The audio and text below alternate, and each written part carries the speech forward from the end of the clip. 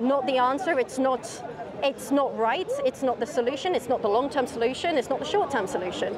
And um, to uh, create um, to create a place where um, equal and um, essentially the three generations thereafter, my grandparents, my aunts, uncles, and cousins, they were born and raised in Israel, uh, the state of Israel, only have Israeli citizenship, and um, that is all they know.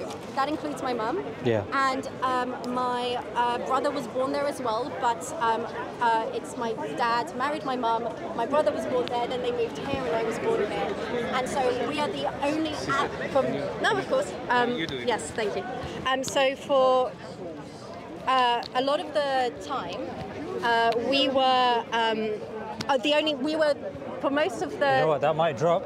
I'll show you how to do it. I, I could see you struggling. You know Yeah. what you do? Just pull this hair. That will lift Thank up. you. Thank you so much. Um, so there we go. Okay. So for um, a lot of um, uh, uh, time, most of that, that we were the only ones in the family with dual citizenship on my mum's side. Very recently, my um, one of my cousins got married, and now he also has um, Danish citizenship as well, I believe. But um, for three generations, only Israeli citizenship. And I grew up in this system as a Jewish British Israeli, where I um, was raised within both the Jewish diaspora narrative and the Israeli narrative. I, we traveled to Israel since before I could talk, um, and we have history of going there a lot. Um, and it's uh, so growing up, I was raised with this extremely specific narrative, a very pinhole view of what has happened and what is going on, and how essentially due to fear, we need this place, we have to have this place, we have nowhere else to go, and it's them or us. It's very much seen as a black and white situation. And um, as I was growing up, I began to start to question these. Um, what was what was what was seen as facts for me growing up, and it has slowly over time. It's a very slow process. Um, learning to um, unlearn a lot of things that have been taught to me, but also to um, come to terms with the fact that this is part of my history, but this isn't something I agree with, this isn't something I side with.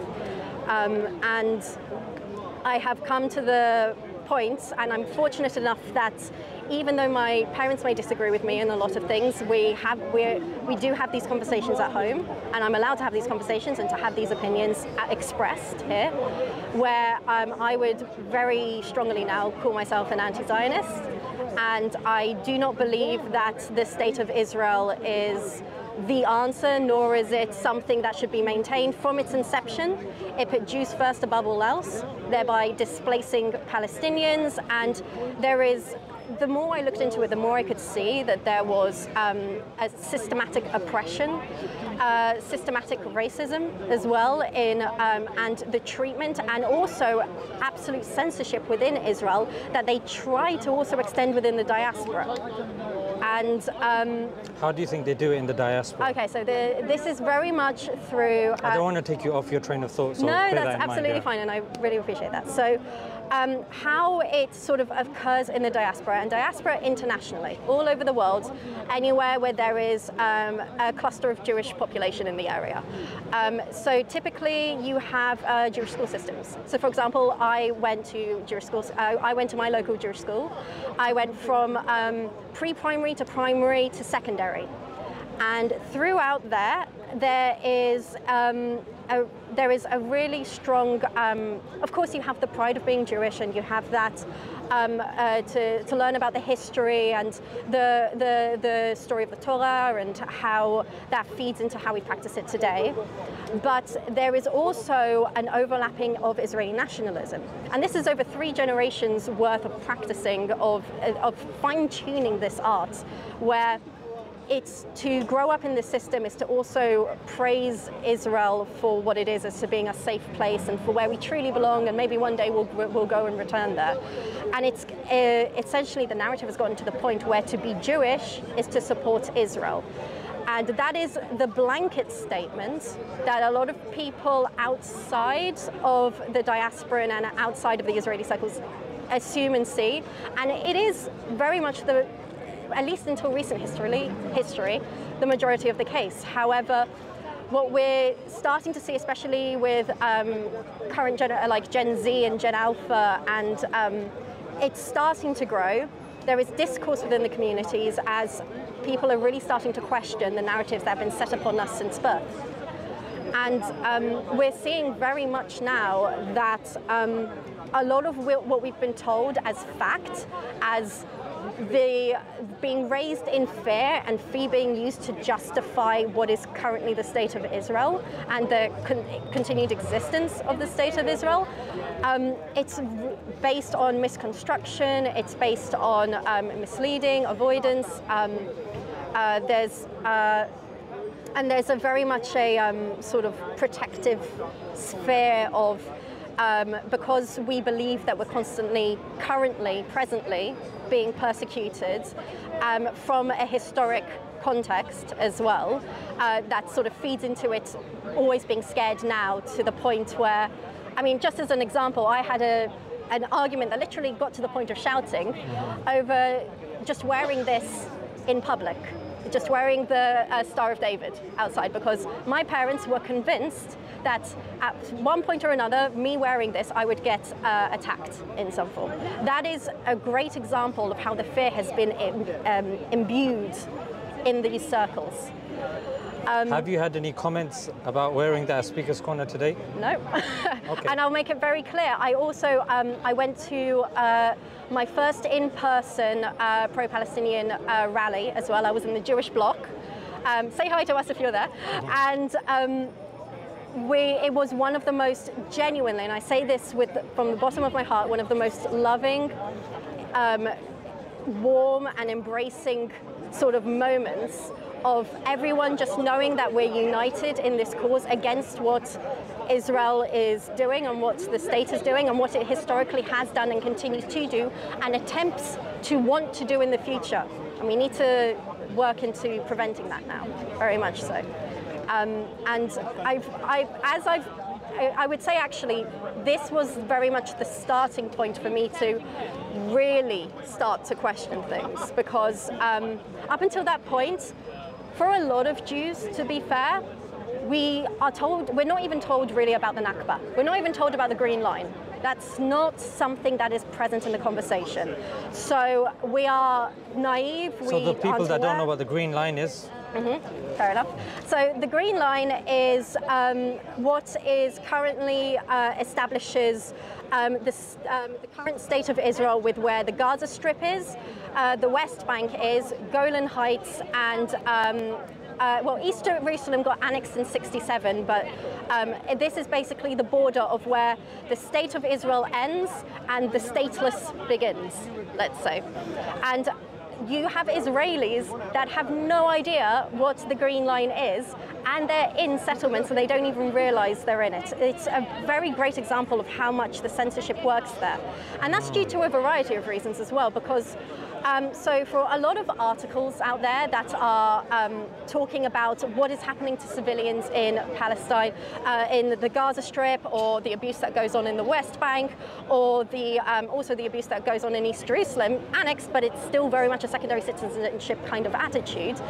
A lot of these articles are written in English, and English is absolutely a language that is present in Israel. It's typically a second, a secondary language to people but people aren't extremely fluent in it. And so not having articles in Hebrew for them to read, to absorb, especially at a young age, um, makes it it separates them from access to the narrative of what the government is, give, is imbuing upon them. Right. Um, on top of that, there is, and you see this in the diaspora as well, there is a really strong sense of, because there's, the fear is so strong, and the it's them or us mentality is yeah. so present, you create a knee-jerk reaction of when you are hit with facts, just immediately deny it because your trust to the state is so true and is so present. Um, and to question it, you, you face intense social stigma.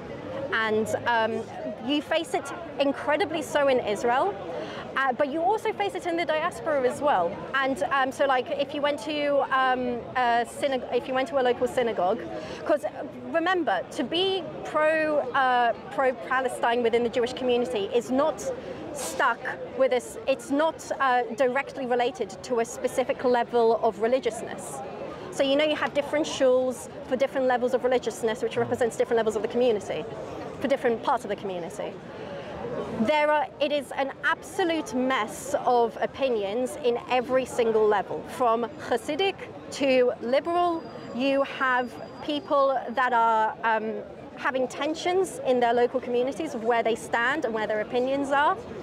And um, you know, it's and we and another thing we've got to be aware of as well is um, freedom of expression and freedom of press in Israel. Mm. So on top of social attitudes, if people are to get together to have a protest, I remember um, post October seventh.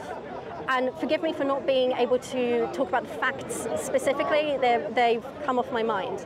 But um, one of the very first anti war protests in Israel that occurred required a Supreme Court approval where it was the civilians trying to uh, organize this protest against the police. Mm-hmm. Which is effectively the state. It's against the state as well. So, and what you can see multiple times is these blockades of skewing of the law to prevent people that want to get their voices heard against the against the social sort of default mm. to try and get their voices heard, and then it's stopped by the police.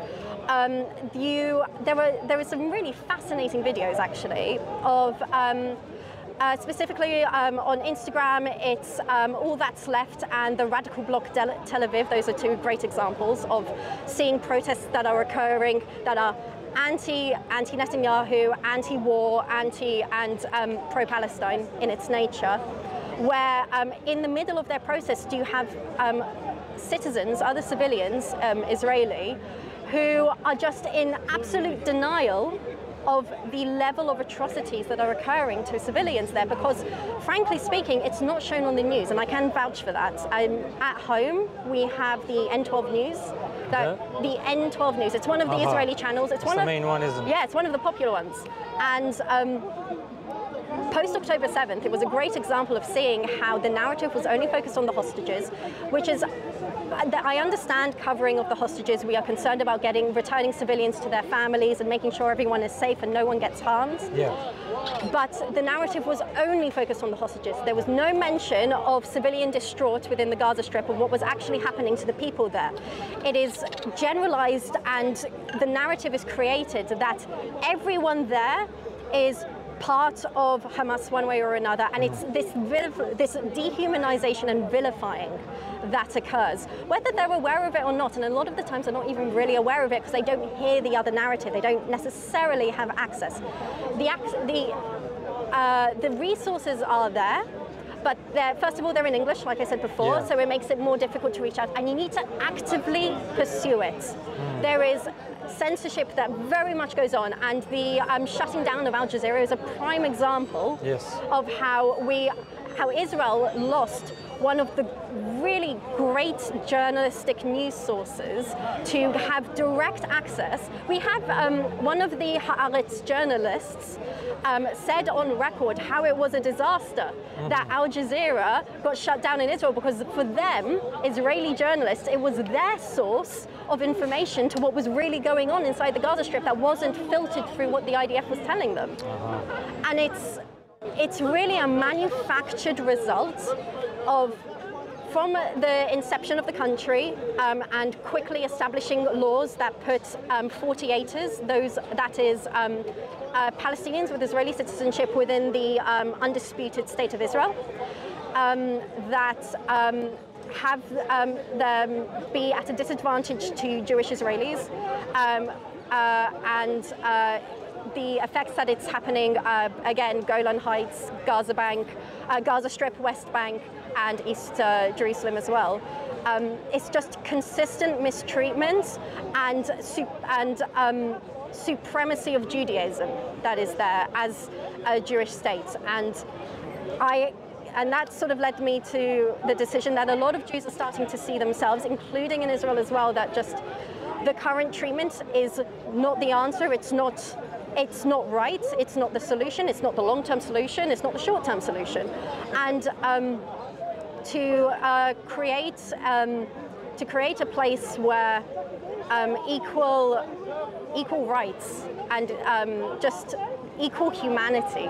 You know, this is very basic yes. stuff that if you speak to certain Israelis about it, or certain Jews about this as well, and even those who aren't, uh, but uh, are in the Zionist headspace, speak to any Zionist about this, when you give them certain facts like how Israel has illegally used white phosphorus, which is um, a banned uh, substance um, within the Gaza Strip during the October 7th and historically, and it's a war crime that they've done so, and that the Human Rights Watch and Amnesty International have shown this to be the case, their knee-jerk reaction is to deny.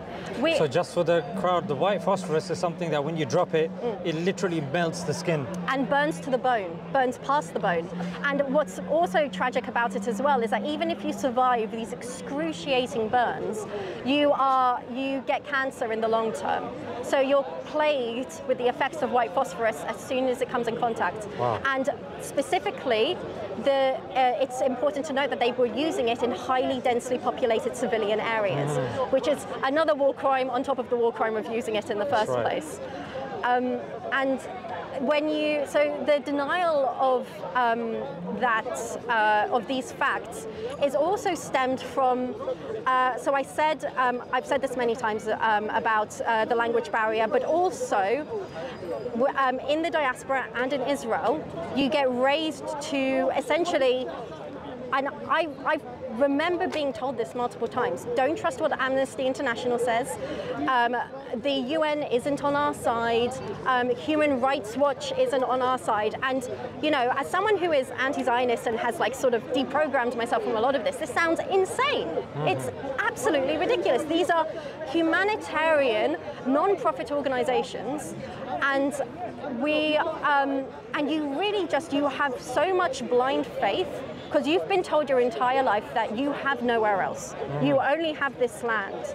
And you don't even have access to the option, to the idea of treat, of like coming to the notion of treating Palestinians uh, like equally. And it's insane. It's absolute insanity. And you don't realize it's insane until you've come out of it. And then you get this frustrating situation where you try and speak to people about it who are still in the depths of being the Zionistic system that they were raised in, to absolutely deny what's going on. And I would, I would, I would, that's all right. I would absolutely say that um, the Zionistic system within Judaism is very much a programmed approach and the deprogramming takes a very long time. And it's really interesting actually, because when you go to the Jewish bloc of these pro-Palestine rallies, you have people like me who are anti-Israel, anti-Zionist. You have also people that are anti-Zionist, but they're not quite where I am on the spectrum, where like they're still in the process of deprogramming, I would say where they believe that uh, maybe a two-state solution is the way to go. Um, uh, it, like it's clinging on to the fact that Israel is part of their identity and they have to let go of that. And and remember, I'm someone that has three generations. This was not an easy process to let go, to separate, and to relearn a lot of um, what was taught to us and that was frankly untrue and misconstrued and racist and uh, however other many words. Um, and when it comes to people that were raised in this process, I would definitely say as well, again, we're tangent, we're going on a tangent a bit, but I would definitely say that it's absolutely, people can unlearn and relearn um, what Zionism really is and what it truly stands for and how uh, nationalistic and racist this approach is. And um, it is absolutely possible, I'm proof of that, it takes time, it really does, and there's a lot of levels of acceptance that needs to go, of coming to terms that you are on the side of history that has contributed to this, that has over multiple generations played a part in establishing and maintaining the current status quo and um, you need to actively want to look for the truth and to be honest with yourself and to face the facts. And it's something that takes time, but it's absolutely possible. So I, I would say that even citizens of Israel currently, um, specifically Jewish citizens, we are already seeing that a lot of them are starting to wake up. Well, a minority is starting to wake up. But forgive me for being optimistic. I am optimistic that that voice can grow and that we can start to really question the, um, the lack of freedom of speech and freedom of press that is currently happening in the state. So, absolutely. So, the, the reason why I just let you speak because I appreciate I, it. Thank you. Yeah, no, I think I don't think what I would have said would have been any beneficial than what you were saying, frankly. Mm-hmm. You covered everything uh, very nicely, mm-hmm. and uh, it's a it's a point of view and a perspective that we're in desperate and dire need of. Mm-hmm. And for us to, for me to just unnecessarily be jumping in, I think would have been an injustice oh. to what you were saying because frankly, uh, it, it, that was a breath of fresh air, um, and we'll we'll continue kind of. Um, I'll I'll hit you back with some questions, but mm-hmm. I think it's important for people to realize that when it comes to these discussions, speak when you need to speak. Mm-hmm. Otherwise, if someone else is speaking sense, doesn't matter who it is, you let them speak. And there were a lot of things that you mentioned. I think it was very fascinating, especially your your view of how um, this uh, the the lack of education mm-hmm. is being proliferated in, in yeah. certain kind yeah. of places in certain yeah. communities. It's, it's, selected history. Yes. And it's very biased and it's done with intent. Whether the people in the system are aware of it or not, it is very much so a result of both lobbying within Israel and lobbying within the diaspora by pro-Israeli movements. And um, it's how um, a lot of Jewish schools around the world follow this narrative. Shuls do as well. Um, Jewish newspapers um, go into it as well. And it's really important both within these circles and for people outside of these circles to be aware that there are Jews and there are uh, people with Israeli citizenship that are questioning and going actively against what this narrative is and that these voices are present and we're really trying to grow these voices and we're really trying to make it clear that we disagree with this wholeheartedly it's not the answer, it's not what we're looking for, and it's not the solution to, um, forgive me for being cheesy, but it's not the solution for peace in the Middle East. So, yeah.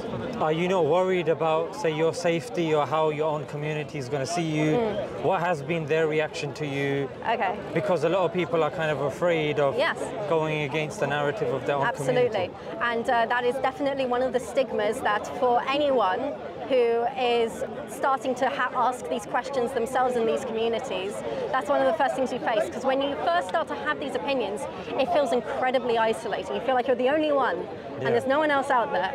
And thank Instagram because there is much proof in multiple places, including in the UK, Na'amod. If you're not aware, um, if there are any diasporan British Jews listening, Na'amod UK, take a look at them. They're doing phenomenal work. Um, they are an anti-apartheid um, pro-peace movement in the UK that is attempting to lobby against uh, Britain's actions towards supporting Israel and war. Fantastic. But, yeah. Big up Na'amod. Yes, Na'amod UK. They're doing phenomenal work. I will okay. preach about them till the cows come home. Um, so, uh, yes, stigma in uh, social circles.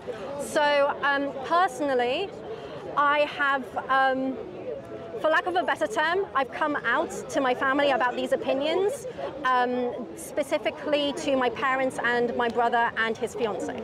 Um, so um, they are aware, and to different levels, they disagree with me. Um, but I am very thankful that my uh, dad specifically has allowed me to have these conversations at home, um, to express my opinion and to explore these viewpoints um, it helped me form the opinion that I currently have. Even if he does disagree with it, he very much respects my opinion, and I'm very thankful that he let me have that space, even if he doesn't agree with me. With regards to the outer Jewish sphere, uh, I would say that um, uh, I'm not currently a member of a synagogue locally or anything like that.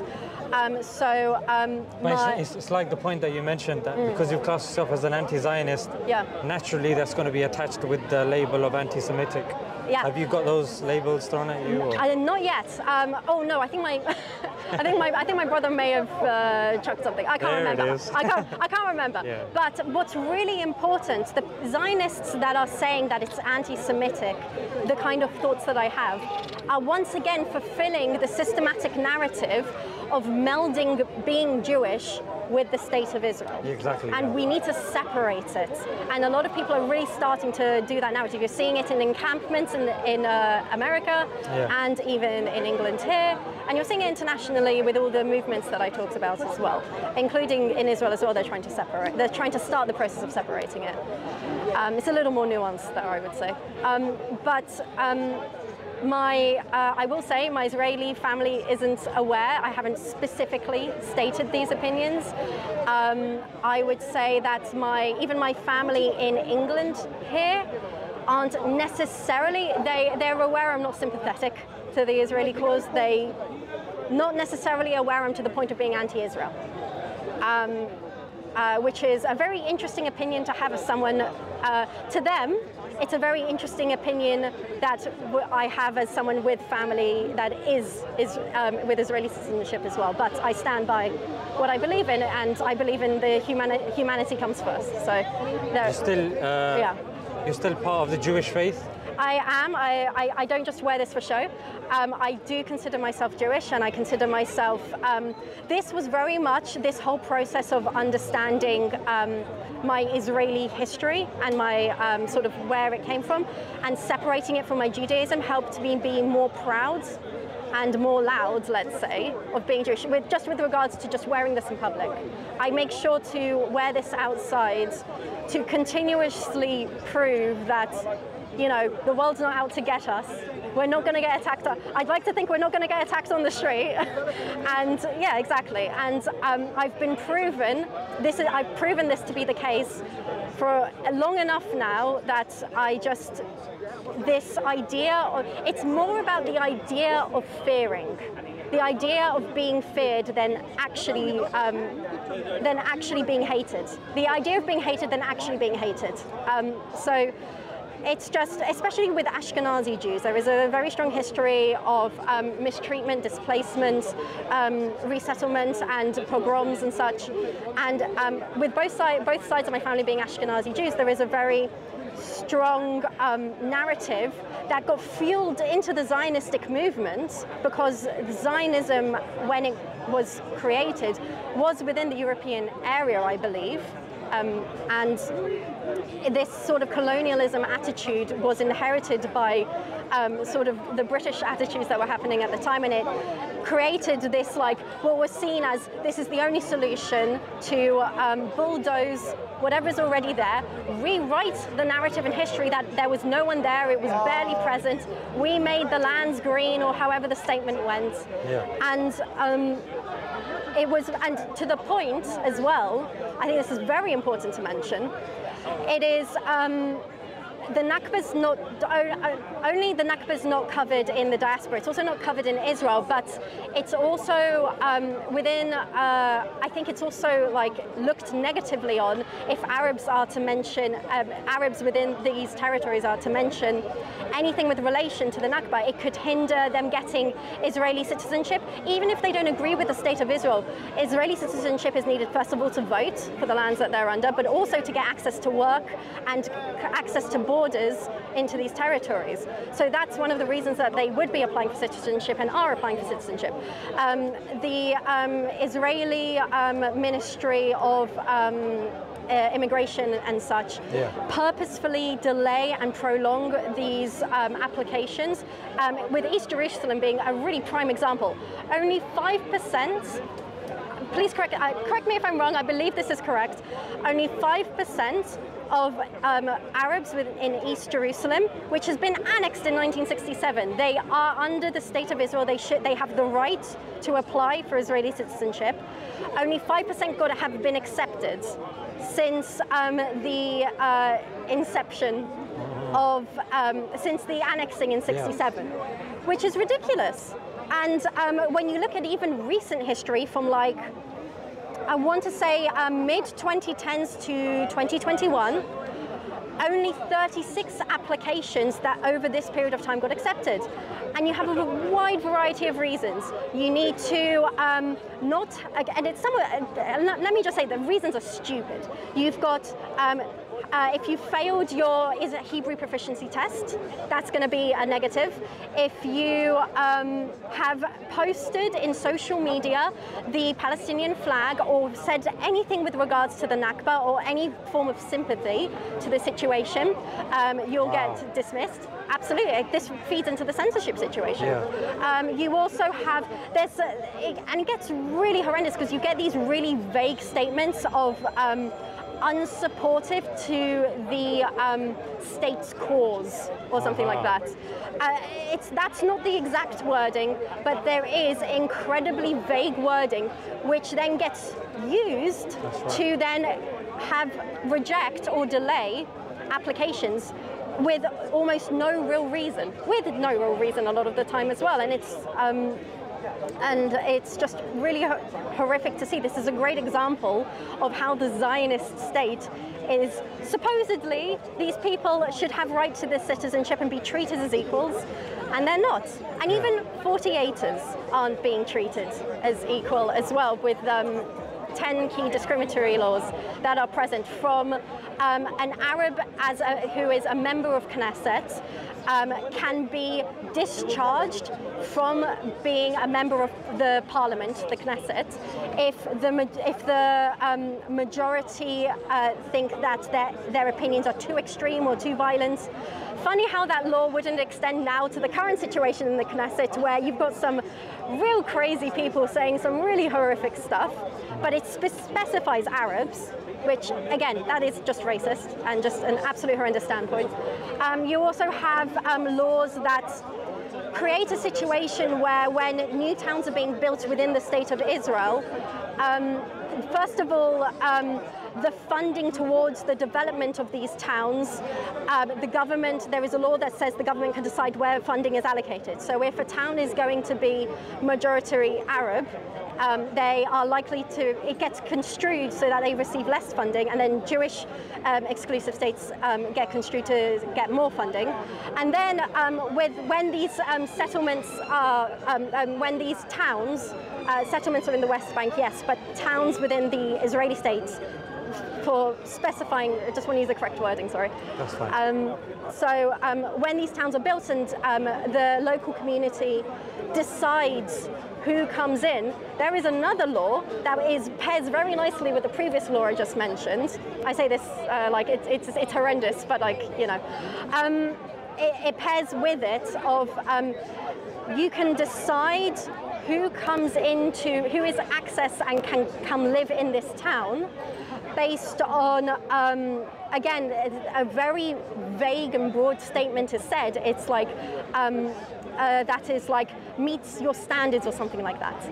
And that essentially gets practiced in the way that um, Jewish Israelis are allowed, and then um, Arabs, uh, Arab Israelis, um, um Palestinians with Israeli citizenship are rejected. Mm. These 48ers get rejected. And so um, you have, uh, I'm specifically talking about the state of Israel. Um, these are 48ers experience, what, what 48ers can experience within the state of Israel.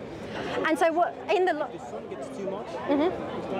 I would I wouldn't mind moving. Yeah, if that's, that's all right. Yeah, yeah, sure. Thank you so much. What are you guys here today to talk about? Uh, uh, uh, I'm talking today about um, what's going on in Israel Palestine. Yeah, As, uh, yes, that would be wonderful. Thank you. Uh, you know what? It's uh, Is this your camera? He's not. It's, not. it's fine. You no, it's fine. It's fine. No, over there, that's our cycle lane.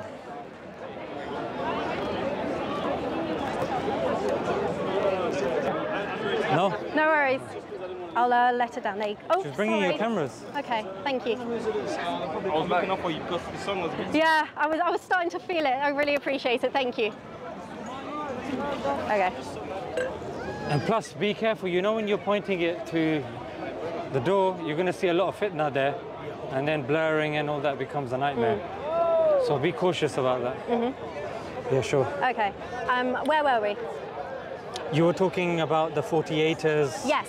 So, um, because of those two laws, just as an example of uh, settlements, um, um, uh, living spaces, and um, you, a reality is created in the long term where you get um, Jewish towns that have a very um, stable and sustainable amount of funding um, are um, very much like uh, well established and well funded and access to greater resources. The kids in these areas have access to greater resources. And then um, in these um, Arab towns, they had less funding from the um, establishment, so resources of what is available within the community are much more strained and limited, which then affects the um, access to opportunities and work and uh, such in the area. And that means that these children grow up um, with a much more difficult um, access to these opportunities and such. So it really is a great example of how it's systemic in nature within the state of Israel itself.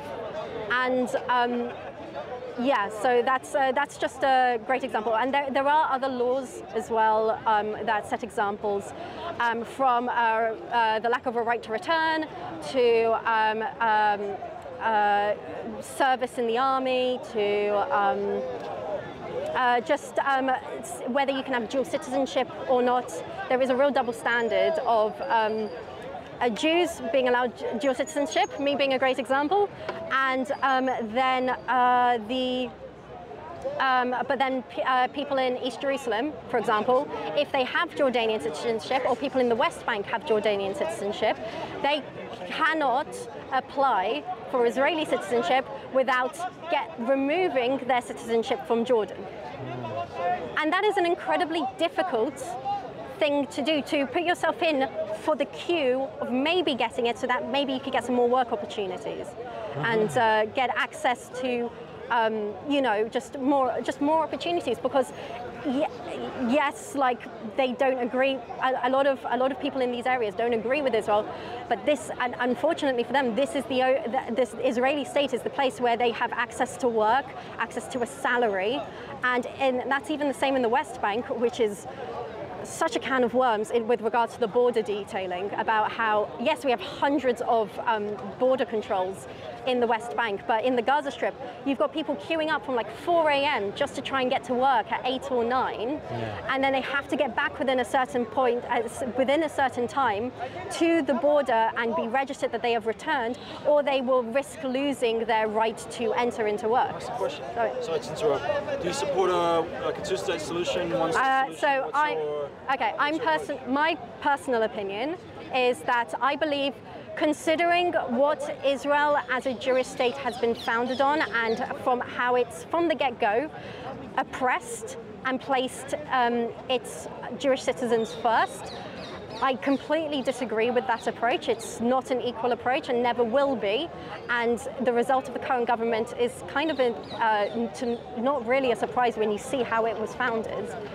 And so I personally believe that a um, okay, I, I need to get the order right.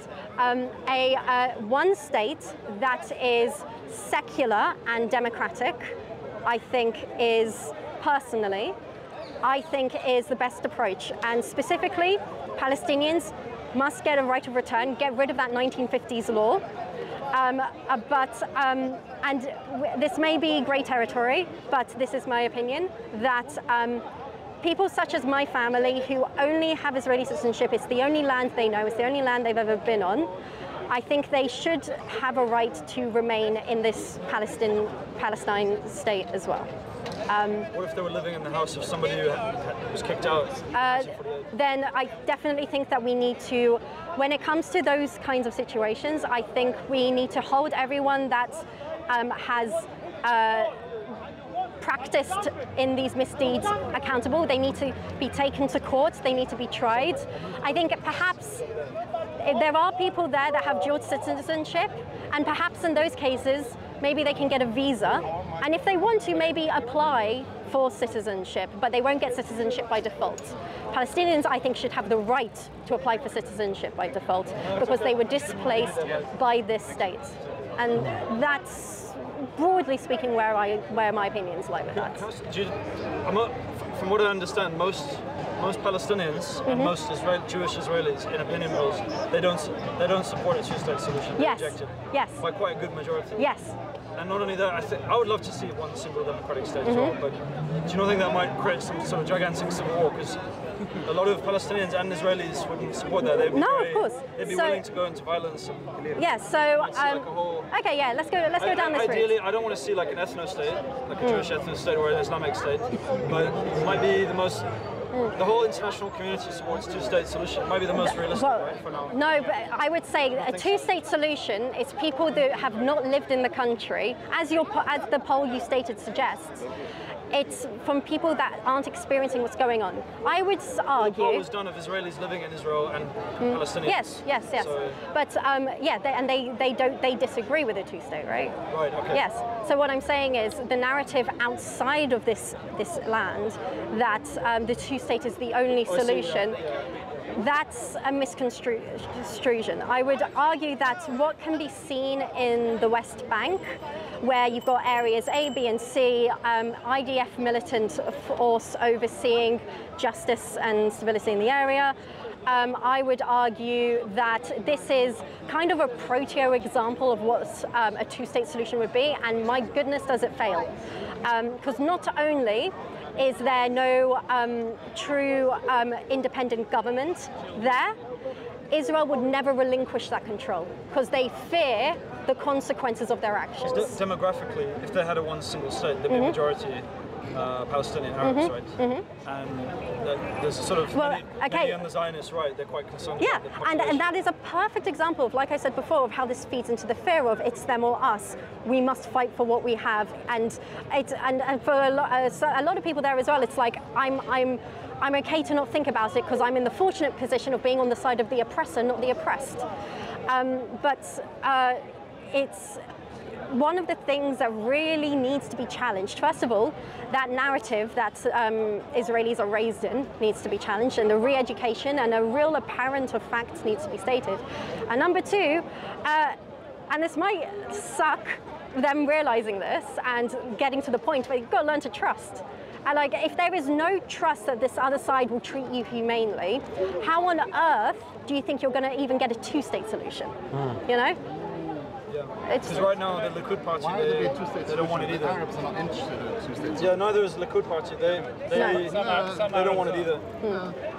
They, they would they would have been willing. Uh, It by all was a means. real- No, they've made it clear. Netanyahu's made it mm. clear. Ariel multiple Sharon pulled out of Gaza. Okay. I, I, I always get confused when there's multiple also, do you support boycott, divestment, sanctions movement? Yes. Can I ask, uh, because I'm much more sympathetic to your viewpoint, but on mm-hmm. this, do you mm-hmm. not think it's a bit hypocritical? Because, for example, the United Kingdom mm-hmm. went into Iraq, according to a Lancet, very prestigious medical journal, about a million Iraqis dead because of that war. Right? That's not just a random figure, that's like Yeah. very respected.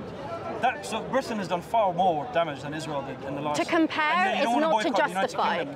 I would say to Why- compare is why not to justify. Why, Why would we would talk say- about boycotting United Kingdom and the United never? The, sorry, boycotting Israel. But there's never. I never hear talk about boycotting Egypt, United Kingdom, Britain, Okay, well- uh, United States. They've done a lot. Of Okay, so I will well. I will argue that uh, currently, yes. Vegans.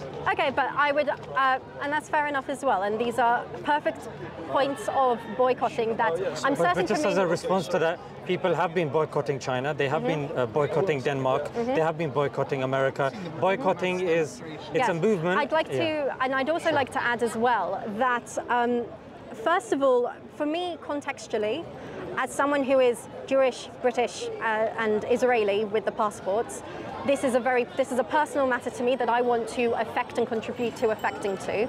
But in the grander scheme of things, currently, right now, presently, a genocide is going on, and the collective unification of those that are pro-Palestinian in boycotting. As a singular person, that action may not be major, but as a collective, it has a significant economic effect, especially with Israel being a startup nation. Like they thrive economically in creating startups, especially in the tech industry. So boycotting all. No, I'm a cameraman, no, no, no, that's all right.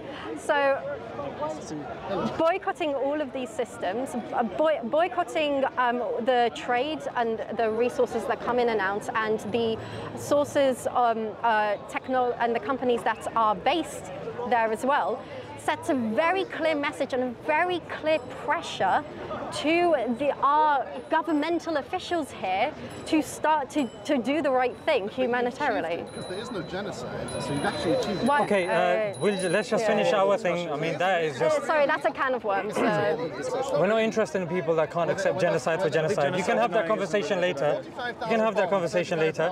So we're just gonna, we'll just, yeah, we'll just, um, we'll just round off our conversation, which went over for about an hour, mm-hmm. and there was, I mean, you gave your time and you made some fantastic points mm-hmm. that I think are very helpful for the discussion. Mm-hmm. Points like that aren't, and you can have that discussion later.